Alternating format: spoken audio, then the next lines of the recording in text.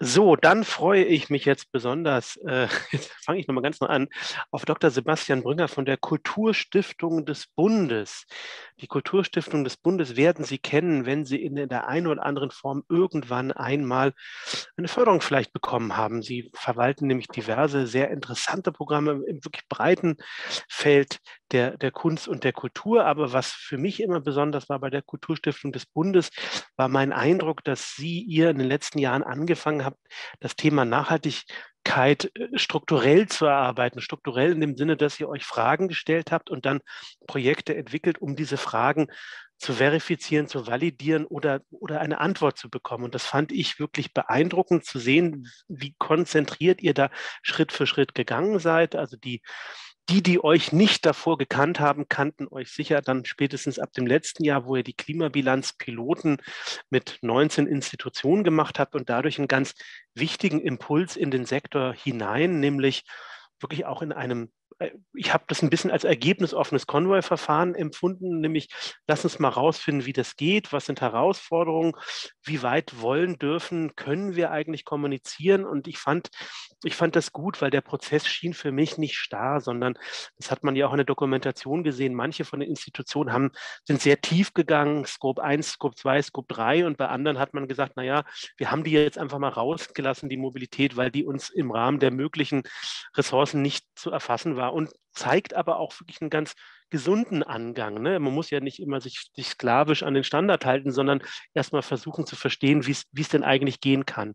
Das fand ich toll und deswegen freue ich mich umso mehr, weil zwischen den Zeilen, jetzt kommt ein Cliffhanger. Äh, ich, ich, vermute zu wissen, dass interessante Aktivitäten bei euch vor der Tür stehen und hoffe sehr, dass du das eine oder andere dazu sagen wirst. In dem Sinne, die digitale Bühne ist deine, zugeschaltet aus Berlin Dr. Sebastian Brünger. Super, vielen Dank, Jakob. Vielen Dank für die Einladung, ähm, hier mit dabei sein zu können. Ich finde es wirklich großartig zu sehen, gestern und heute hier, wie viele Personen da sind und ähm, diese Einblicke in die laufenden Prozesse, das ist wirklich super wertvoll. Und vielen Dank in dem Sinne auch an euch, Jakob, ans Aktionsnetzwerk, diese Dynamik hier im Kultursektor sichtbar zu machen. Ich habe vor ein paar Tagen nochmal in meine Notizen vom letzten Jahr geschaut, vom letzten Forum Betriebsökologie. Und da ist mir aufgefallen, wie sehr wir da noch drüber gesprochen haben, warum und ob und warum die Klimakrise eigentlich auch ein Thema oder sozusagen aufdringlich ist für den, für den Kultursektor. Und äh, das scheint mir inzwischen viel stärker zu einer Selbstverständlichkeit geworden zu sein, wenn die großen politischen Klimaziele eben auch nur als gesamtgesellschaftliche Aufgabe zu erreichen sind, dann sind Transformationsprozesse auch im Kultursektor eben unausweichlich. Und wir als Kulturstiftung fühlen uns dieser Perspektive verpflichtet. Ähm, wir wollen uns selbst als Stiftung, als Förderinstitution hier verbessern, ähm, auch dazulernen im Rahmen unserer EMAS-Zertifizierung, die ähnlich wie die KBB gestern 2012 ähm, mit dem Festival Überlebenskunst startete. Und wir wollen eben auch unsere Kooperationspartner und Fördermittelempfänger dazu motivieren, ihre Aktivitäten ökologisch nachhaltiger umzusetzen. Wir sehen uns als KSB, als Kulturstiftung da in der Rolle, als Impulsgeberin eben modellhafte Projekte zu fördern. Ähm, die Kulturstiftung hat eine besondere Rolle im Rahmen der Kulturförderung, im Rahmen der föderalistischen Kulturförderung in Deutschland.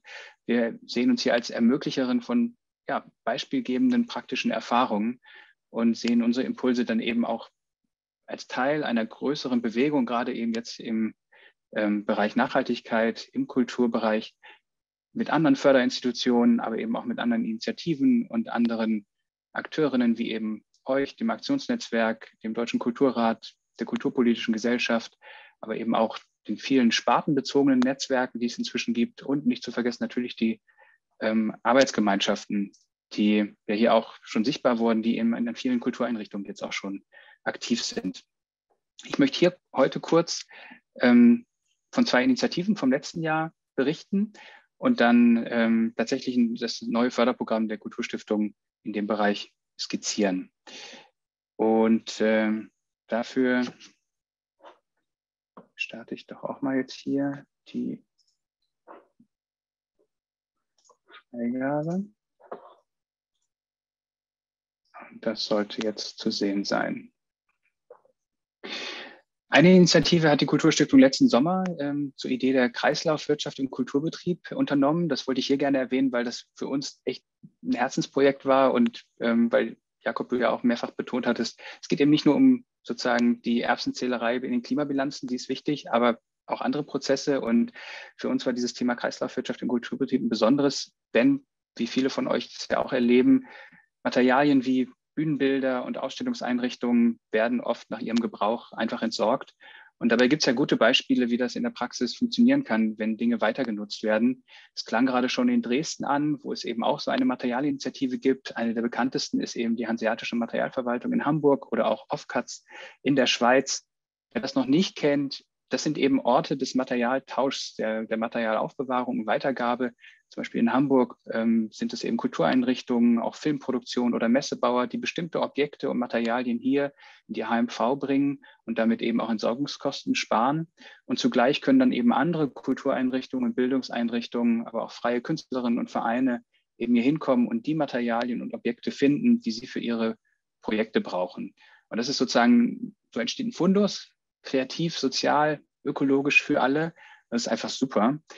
Vor diesem Hintergrund haben wir im letzten Sommer als Kulturstiftung gemeinsam mit verschiedenen Kulturinstitutionen ähm, und ähm, Materialinitiativen aus dem Bundesgebiet zu einer Workshop-Reihe eingeladen, die in drei Orten stattgefunden hat, in Frankfurt, Berlin und Leipzig. Und Ziel war eben hier zum einen die Erkenntnisse und die Erfahrungen zu bündeln von den verschiedenen Materialinitiativen, die es inzwischen auch gibt und zum anderen eben Akteurinnen aus dem Bereich Kultur, Politik, Verwaltung und Aktivismus zusammenzubringen, um zu überlegen, wie diese Orte entweder initiiert oder auch dann gestärkt werden können. Denn die Idee, so sah das dann in Leipzig beispielsweise aus, die Idee dieser Orte ist erst einmal, finde ich, sehr bestechend und einfach, aber die Umsetzung dann äh, oftmals schwierig. Zuallererst immer die Frage, wo ist eigentlich genug Platz, wo ist Raum für solche Orte, für Materialaufbewahrung und Lagerung? Dann nicht zuletzt die Frage, äh, welche Instanz, welche städtische Instanz finanziert und fördert solche Orte? Ist das Umweltamt, Kulturamt oder eben die Kreativwirtschaftsförderung? Gibt es genug Nachfrage und Angebot für solche Orte?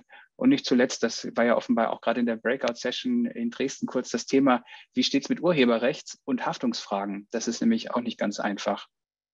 In Leipzig, Berlin und Frankfurt ist es uns mit den Teilnehmerinnen da gemeinsam gelungen, einen nächsten Schritt zu initiieren. In allen drei Städten haben sich Arbeitsgemeinschaften aus Kultur, Politik und Aktivismus eben dann zusammengeschlossen und treffen sich jetzt in diesem Jahr weiter, um dort weiterzuarbeiten. Ich finde, diese Orte können wirklich beispielgebend sein, sind großartig. Ähm, und hier ist äh, diese, die, die es, die größeren, die es jetzt auch gibt, haben sich zu einer Initiative zusammengeschlossen, Initiative für Materialkreisläufe, ähm, die vielleicht für den einen oder den anderen von euch eben auch interessant ist, ähm, wenn hier Unterstützung äh, gebraucht wird. Ein zweites Projekt, was wir letztes Jahr ähm, abgeschlossen haben im Sommer, war eben das besagte äh, Projekt zur Klimabilanzierung. Der Ausgangspunkt war natürlich hier ganz klar die Frage, die viele von uns äh, umgetrieben hat oder zum Teil auch noch umtreibt. Die Frage zur Klimakrise im Zentrum. Wie beginnen, wo starten? Und vor diesem Hintergrund hatten wir ähm, ursprünglich 20 Kulturinstitutionen eingeladen. Am Ende sind es 19 geworden, äh, die ins Ziel gekommen sind sozusagen. Ähm, hier in einem ersten Schritt tatsächlich das, wie Jakob, du es gesagt hast, zu, zu erproben, ergebnisoffen tatsächlich zu gucken, ist dieses Instrument der Klimabilanzierung im Kulturbereich gut, sinnvoll, macht das Sinn, den eigenen CO2-Fußabdruck zu ermitteln. Und die Pilotgruppe bestand eben aus verschiedenen Häusern, aus verschiedenen Sparten mit unterschiedlichen Größen, Ausgangsbedingungen und Vorerfahrungen. Und die teilnehmenden Einrichtungen wurden dann eben über einen Prozess von knapp vier Monaten dabei begleitet durch eine Umweltmanagementagentur, ähm, die Bilanzen zu entwickeln, das, das Wissen dazu zu entwickeln und eben auch untereinander sich dazu auszutauschen und zu lernen. Die Schritte dieser Klimabilanzierung, das werde ich jetzt nicht durchgehen, weil zum Teil wisst ihr das alles schon selber, ihr habt es zum Teil auch selber schon gemacht ähm, oder ich, ihr habt es vielleicht an anderer Stelle auch schon gehört. Wer, das, ähm, wer dazu mehr wissen möchte zu diesem Pilotprojekt, der kann auch auf der Webseite der Kulturstiftung des Bundes eine Dokumentation einsehen. Die, dort gibt es eben genau diese Arbeitsmaterialien, die ersten Schritte, Hand, Handlungsempfehlungen, die diese Prozesse erläutern. Ich möchte an dieser Stelle ähm, zwei Ergebnisse aus dem Pilotprojekt kurz skizzieren. Das eine ähm, ist eben das Feedback aus den Häusern, die nämlich zum einen gesagt haben, ja, also die Datenerhebung war definitiv aufwendiger, als sie ursprünglich gedacht haben. Und natürlich erst recht in diesem Lockdown-Zeit mit Kurzarbeit.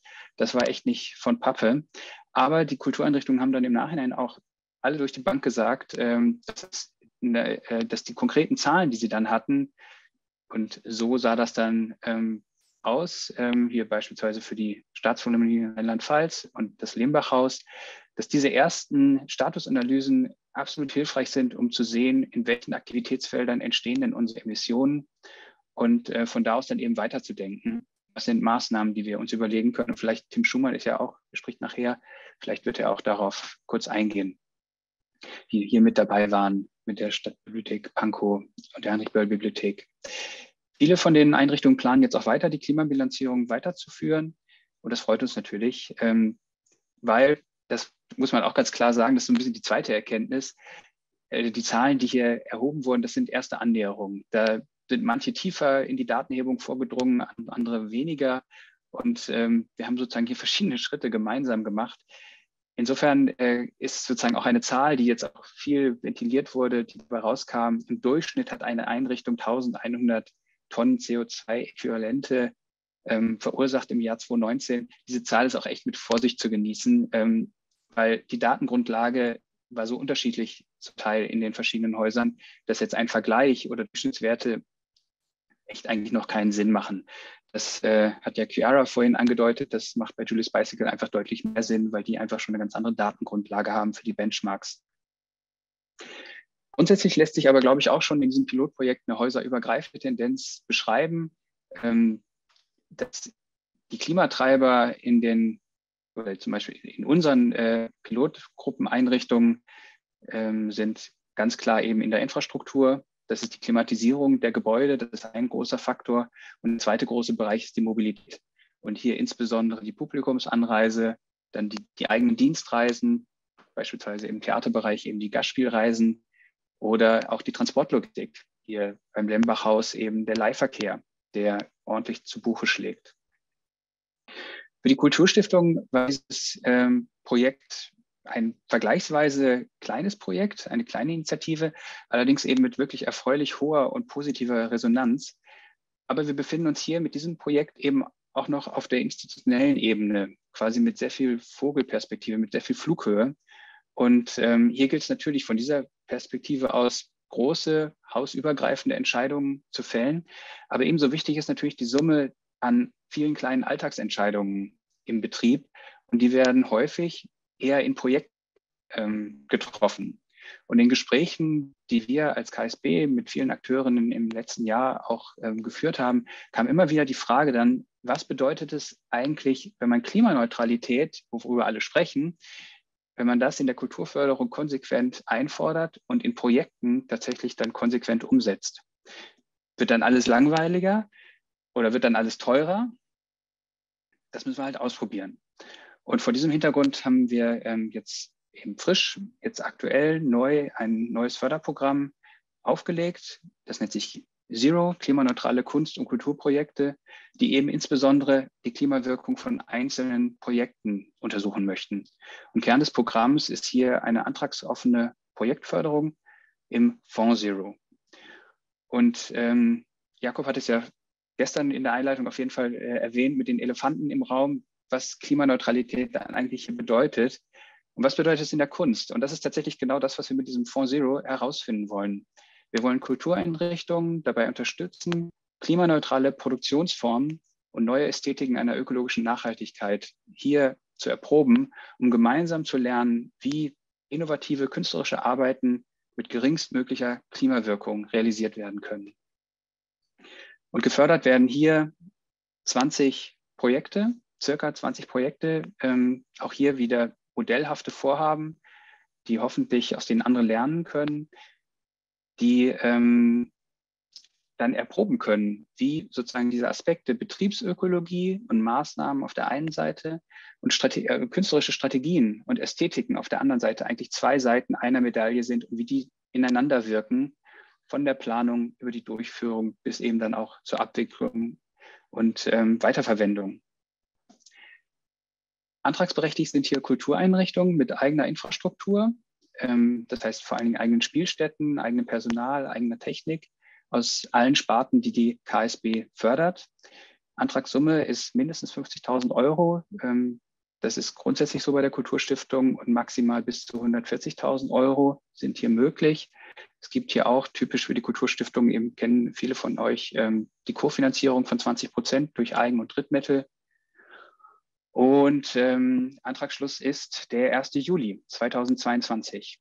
Wir wollen hier tatsächlich auch schnell mit an den, normalerweise machen wir längere Antrags, äh, also längere Phasen für Antragsberatung und Projektentwicklung. Hier möchten wir, weil es eben noch das Thema erfordert, ähm, schneller sein. Und ähm, Antragsschluss ist 1. Juli, Jury ist dann im Herbst und die Förderzeiträume für die Projekte sind dann zwei Jahre, Pi mal Daumen 2023, 2024. Wichtig ist hier eben, dass ähm, künstlerische Inhalte der Projekte dabei frei gewählt werden können. Das heißt, die Projekte müssen sich inhaltlich, thematisch nicht mit der Klimakrise auseinandersetzen. Da kann es um alles Mögliche gehen. Also sozusagen, es geht hier vor allen Dingen eben um die Produktionsformen. Das Besondere an diesem Fonds ist nun, dass ähm, die Kulturstiftung das erste Mal hier ein, ein Programm aufsetzt und einen Fonds einrichtet, der mit konkreten ökologischen Auflagen verbunden ist. Im Zentrum sagt der Name, alle Projekte müssen am Ende klimaneutral sein. Das heißt Net Zero, netto null Emissionen. Und dafür müssen Sie eine hausinterne Klimabeauftragte oder einen Beauftragten ähm, bestimmen, der das Projekt koordiniert. Sie müssen Klimabilanzerstellung ähm, durchführen, zunächst zu Beginn fürs Haus, um dann zu lernen, wie es geht und dann konkret das Projekt äh, begleiten zu können.